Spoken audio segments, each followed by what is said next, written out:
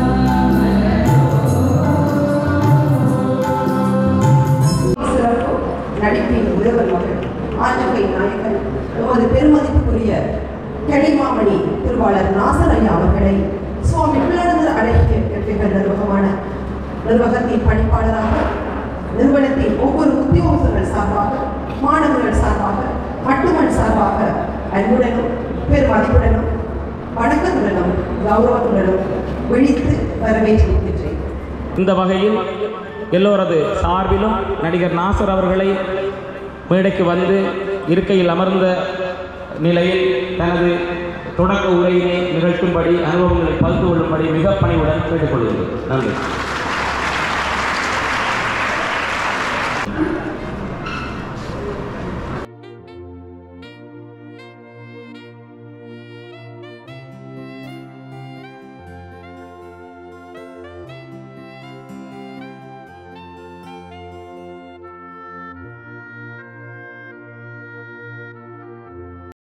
இந்த அரங்கத்தில் கூடியிருக்கும் மாணவ செல்வர்களுக்கும் அவர்களை பொறுப்புள்ள உலக குடிமகன்களாக மக்களாக உருவாக்கிக் கொண்டிருக்கும் ஆசிரியர் பெருமக்களுக்கும்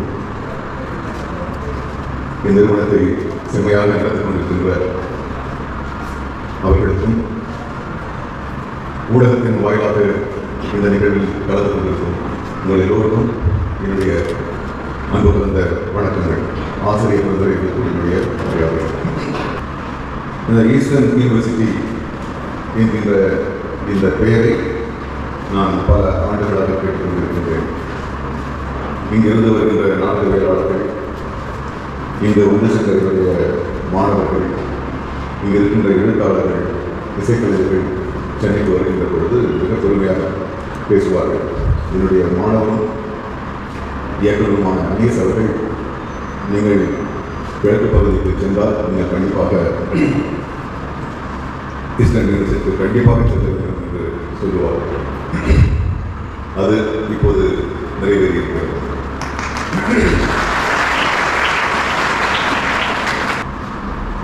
நான் பேசுவதை விட உங்களை பேசிவிட்டு நான் கேட்பதுதான் மிகவும் சுவையான ஒன்றாகும் ஏனென்றால் நீங்கள் பேசுகின்ற அந்த தமிழ்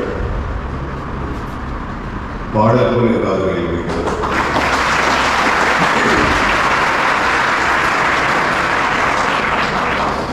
உண்மையில் சொல்லப்போனால் நமக்குள்ள ஒளிவு மறைவு எதற்கு?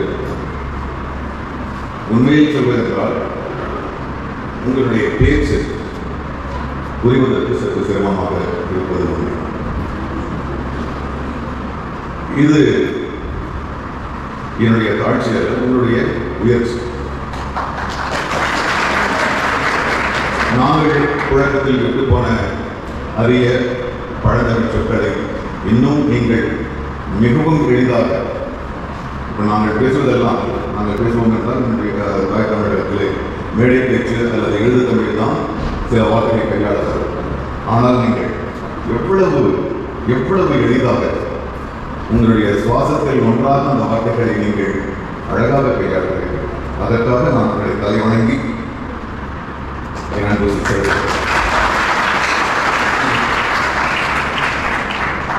நித்திரை உதாரணத்துக்கு நித்திரை என்று சொல்லுகின்ற அந்த ஒரு சொல் எங்கள் எழுத்து வழக்கிலும் போய்விட்டது. என்ன நித்திரை கொள்கையா அப்படின்னு சொன்னா? தமிழ்நாட்டில் சிரிப்பாங்க ஆ பெரிய எழுத்தாளர். ஏன் தூக்கம் வருதுன்னு சொல்லுவாங்க மீண்டும் மீண்டும் மீண்டும் உங்கள் உலக தமிழுக்கு என்னுடைய அன்பு கூறி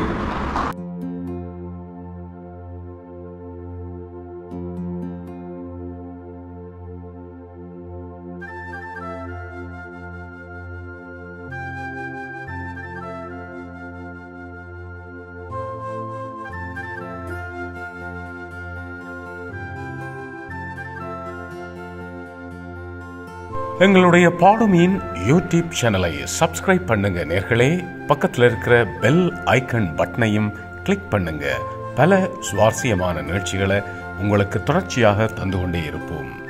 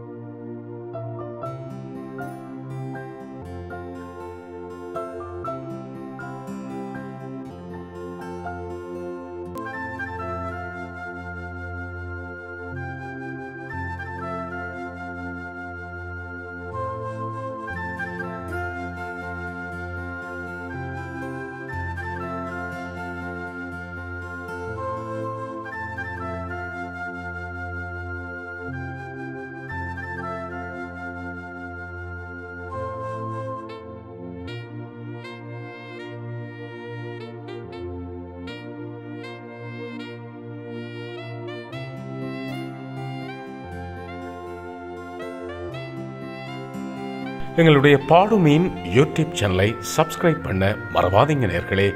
எங்களுடைய வளர்ச்சிக்கு பெரிதும் உதவியாக இருக்கும். தயவாக சப்ஸ்கிரைப் பண்ணுங்கள்